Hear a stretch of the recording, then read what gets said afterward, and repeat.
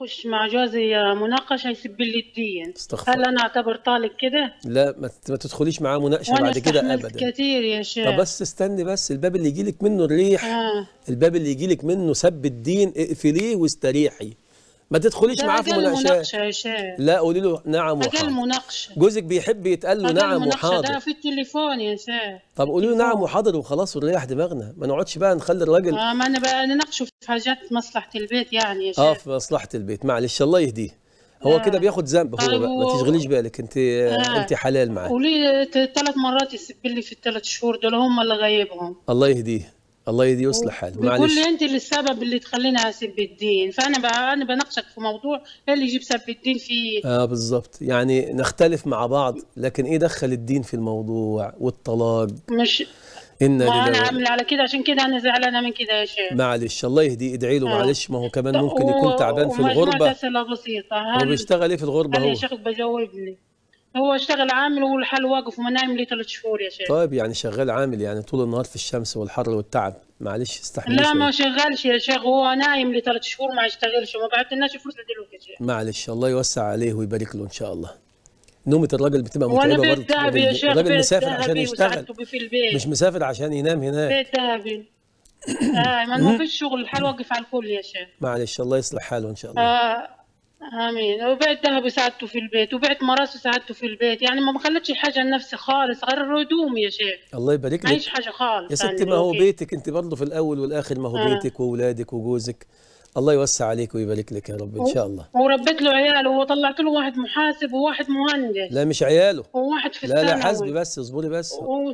هم آه. عيالهم هم عيالهم من مرة تانية يعني ولا إيه؟ لا مع بعض يعني يعني عيالك انت يعني برضه ربيتي عيالك. آه. أيوة. يعني عملت اللي عليا يا شيخ قصدي الله يبارك لك يا رب. ما انت عشان ست أصيلة. وجوزت وجوزت له بنته هو برضك وكله من عند مراسبة أبويا برضه الله يبارك لك يا رب ويوسع عليك. مو عشان كده نايم هناك ومرتاح. و... فهل ذكيتي الابتلاءات اللي أنا شايفها دي؟ هل الجزاء اللي ولدي كان يصلي وقته بوقت مهندس كان يصلي وقته بوقت دلوقتي يصلي من الجمعة للجمعة؟ الله يهديه ادعي له. ادعي له الله يهديه. معلش. ادعي له يا شيخ ادعي له وكمان صاحب صحبة شربته دخان يا أعوذ شيخ. بالله من الشيطان الرجيم. يعني لو كنت أنا مش كفاية اللي ابتليت فيها وكفاية إنه أمي طردتني من البيت عشان ما أخويا ما رضيش يخليني أخش البيت. وابنك المهندس ده ما بيشتغلش ليه بدل ما هو قاعد كده بيشرب دخان مع الصحبة الوحشة دي؟ هو يا شيخ من كل ما لا جايلوش فرصة عمال يدور على شغل ما لقيش فايلته كنت بيشتغل في الصرف يا شيخ. وماله؟ مش عيب الشغل في أي حاجة بس آه. يشتغل يشتغل في أي حاجة بدل أنا شغال في الصرف يا شيخ دلوقتي الله يوسع عليه ويصلح الصرف الصحي يا شيخ الله يوسع بص أقول لك على حاجة هو احتمال يكون فاهم ان هو طول ما هو شغال في الشغلانة دي ما ينفعش يصلي لأن هدومه بتبقى مش نظيفة قولوا له الشيخ سلامة لا بيقول يا لك شيخ ده هو قبل ما قبل ما يروح الشغل لا يا معلش. بس قولي. قولي له الشيخ سلامة بيقول لك كان في الجيش يا استني بس. قولي له الشيخ سلامة. بيقول لك صلي اجمع الصلاة على بعضها يعني وقت ما تخلص شغل اقلع الهدوم والبس الهدوم النظيفة وابقى صلي الظهر مع العصر بعد ما تخلص الشغلانة بتاعتك. قاعدين في مكتب يا شيخ. ده قاعدين في مكتب. ما فيش هدومه بتوسخ لسه. آه يعني في لسه مكتب ما نزلوش وبتاع الموقع يعني. يعني مش صرف ولا حاجة. اهو أنت شغال مهندس قد الدنيا. اهو لا هو صرف. بس مكتب. هو لسه اكتب في الورق وجهزه في الورق ولسه بعد كده عنده الموقع. الله يوسع عليه ويبارك له يا رب. ادعي له وادعي لجوزك إن ربنا يوسع عليهم ويبارك له بالدليل والله. بس أنا يعني بسألك يا شيخ. هل لك بطالب منه في سب الدين دي؟ لا لا ولا طالق ولا حاجة خالص. ما فيش أي شيء من الكلام ده. معلش وانت استحملي شوية. وعايزك تدعي له يا شيخ وتدعي الحياة لابني والله. الحياة تعب شوية يا أم محمد. الله يوسع عليك ويبارك لك في عيالك ويبارك أنا لك في مستحمله جوزك. ده أنا مرة عندي 50 سنة يا شيخ. أنا عندي ست عندي 50 سنة ومستحملة والله. الله يوسع عليك يا رب ويتقبل آه. منك والله ويعينك. عندي 50 سنة والحمد لله. أنا بصلي الف- الفجر حاضر وربنا. مقدرني. أصلي. على النبي واقرا الاذكار والحمد لله من طاعة لطاعة.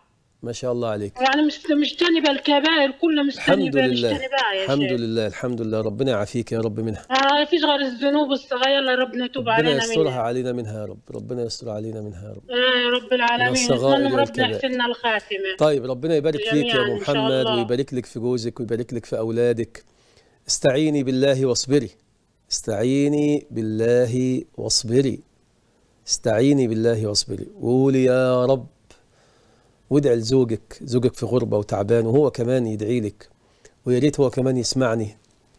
انت في تعب وفي غربة لكن خد بالك بسم الله ما شاء الله ربنا رزقك بست الله أكبر عليها. ست أصيلة فعلا.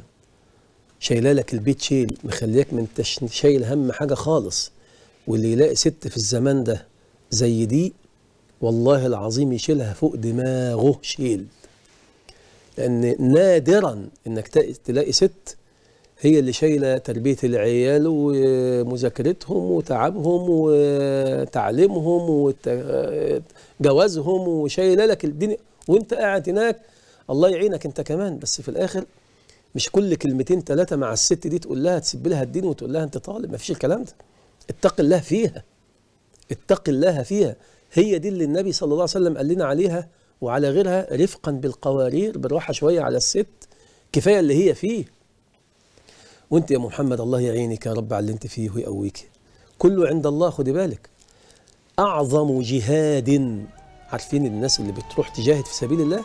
أعظم جهاد للمرأة هو اللي انت بتعمليه ده. اللي انت بتعمليه احتسبيه عند الله تعالى جهاد في سبيل الله.